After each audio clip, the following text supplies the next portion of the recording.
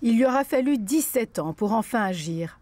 À l'âge de 30 ans, l'actrice Adèle Haenel dépose sa plainte contre le réalisateur Christophe Rugia.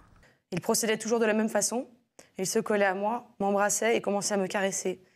Elle s'était confiée au site Mediapart le 3 novembre dernier, affirmant qu'elle avait subi un vrai calvaire à l'adolescence, à l'âge de 13 ans, alors qu'elle tournait son premier film, Les Diables, avec le réalisateur. Mais je, suis euh, choquée s'il fallait encore plus par le fait qu'il dise euh, qu'il m'a découverte, parce qu'en fait, il m'a surtout détruite.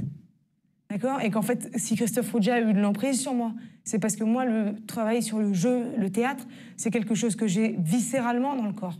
Elle décide de parler lorsqu'elle apprend, entre autres, qu'il va tourner un autre film avec des adolescents. Après ces révélations, une enquête judiciaire a été ouverte.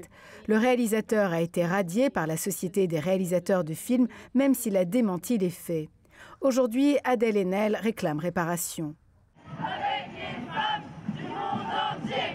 Samedi, ils étaient près de 50 000 à Paris à manifester contre le harcèlement, les violences sexuelles, les féminicides.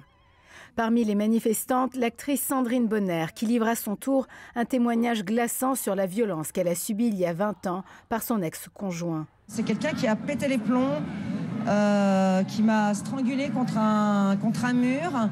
J'ai essayé de me défendre, j'ai levé les bras euh, et, je, suis tombée dans les pommes. Et je me suis retrouvée deux mètres plus loin avec euh, le visage complètement euh, de travers, avec la langue en lambeaux, vous savez, comme des tissus qu'on découpe, avec huit dents cassées, avec une ouverture ici. Et, et je me suis réveillée, j'ai craché plein de morceaux de dents, du sang. Opérée d'urgence, elle est paralysée pendant un mois et demi et porte plainte. La personne en question a pris deux ans de sursis seulement avec une condamnation financière importante. Je trouve que de se montrer vulnérable comme elle comme elle l'a fait, euh, c'est aussi montrer beaucoup de force.